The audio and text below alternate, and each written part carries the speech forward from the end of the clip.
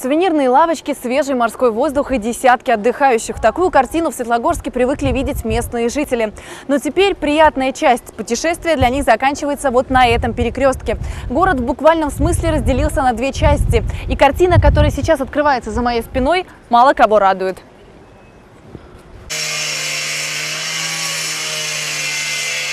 Пройти нигде невозможно, кругом машины, кругом все перекопано. Никакого уважения к отдыхающим. Курорт федерального значения. Ужас. Местной жительнице Светлане стыдно до глубины души. В день открытия курортного сезона ее родной город встретил отдыхающих вот такой картиной. И это все при том, что горожане, да и сами туристы, никогда не жаловались на эту дорогу. Улица была не в таком состоянии. Ужасно, чтобы ее можно было ремонтировать именно в сезон. Э, Перед открытием Янтарь-холла, вторая часть, ну вот той ули- ну, улицы Ленина, она была отремонтирована. Вот. И спустя год, как открылся Янтарь-холл, и опять ремонтировать эту улицу, это просто, ну я не знаю, может быть деньги людям девать некуда. Кто-то деньгами раскидывает, а кому-то приходится считать последние гроши. Бармен Олег Тураев жалуется, посетителей в его кафе и метлой теперь не загонишь, и даже серьезными скидками. Оно и понятно, кто захочет обедать рядом со стройкой.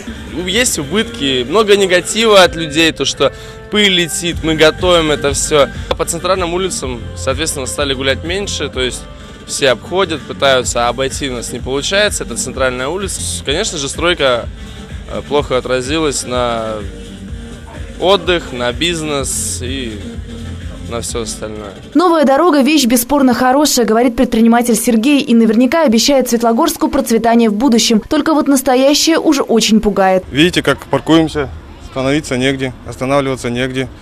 Приехали товар привозить. Ну, неудобство, раздражение небольшое. Ну, видите, люди приехали отдыхать, а ходят по этим, по ракам. Максим вместе с супругой приехали сюда из Калининграда. Получить заветную путевку в местный санаторий оказалось делом непростым. В итоге отдых запомнится семейству надолго. Вот третий круг уже проезжаем, никак не можем найти, как нам попасть в обратную сторону. Была весна теплая, почему раньше Теплый не было? был. Теплый был апрель, здесь ни- никаких работ не производилось. Когда здесь куча туристов с детьми приезжают с разных э, регионов, не только с Калининграда, вот такой ужас видеть. И таких недовольных здесь каждый третий. У кого-то страдает бизнес, кому-то напрочь испорчен отдых. Очень ужасно. Во-первых, пыль, грязь, э, лето, сезон, люди ходят, все это мешает. Мы торгуем, нам тоже тяжело.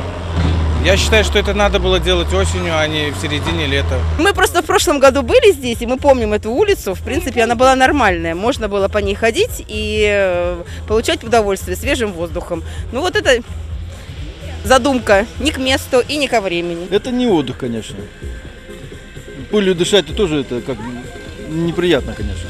Что самое удивительное и неприятное в этой ситуации себя чувствуют даже рабочие. Вопрос, зачем затеяли ремонт в разгар курортного сезона, вызывают у них только улыбку. Сами хотели бы получить на него ответ, ведь трудятся во благо жителей с утра до ночи, чтобы все успеть в срок. Зимой, осенью надо делать. Люди гуляют, отдыхают, море. А тут вот такой бардачина. При этом связаться с главным прорабом у нас не получилось. Приемные мэра ответить на главный вопрос всех отдыхающих тоже не смогли. Хоть как-то прояснить ситуацию помогли сами строители и озвучили главную причину столь необходимого именно в летний период ремонта. А скоро, скоро, наверное, здесь карна это будет. Как это будет? КВМ будет. За это дорогу откроем, все нормально, все людей условия, все будет здесь. При этом часть местных жителей связывает масштабную стройку и вовсе с другим. Якобы мэр Светлогорска затеял это дело в отместку светлогорцам, не желающим видеть на берегу апарт-отель, он же скандально известный стакан. А вот КВНщики предлагают всем недовольным посмотреть на эту ситуацию с другой стороны. Конечно, ремонт проезжей части это всегда вызывает определенные трудности, но я думаю, что у настоящих поклонников этой замечательной игры не возникнет э, серьезных проблем с тем, чтобы дойти пешком, поставить машину на 500 метров подальше и посмотреть прекрасный город, прогуляться по набережной, по которой можно пройтись. А пройтись по обновленной улице можно будет уже 15 июля. Именно тогда в курортный город съедутся веселые находчивые во главе с Александром Масляковым. А пока местным жителям не до смеха. Светлана Федорова, Михаил Эльбаум. Служба новостей «Город».